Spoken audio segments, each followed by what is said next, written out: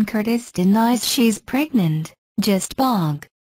This is Anne Curtis's explanation of a netizen who said she was pregnant with a photo uploaded by her sister-in-law Solenn Heussaff on Instagram on Tuesday, June 26.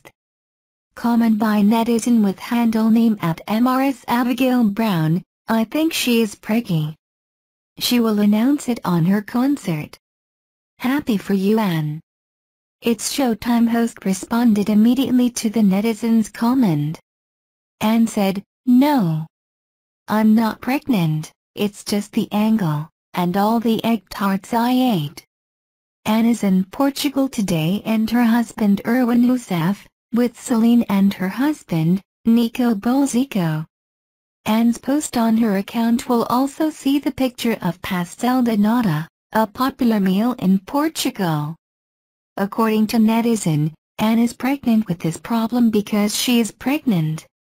But she seems to have broken Anne's plans to inform her publicly at her concert AnneKulit, which will be held at the Araneta Coliseum on August 18. Anne and Erwan were married in November 2017.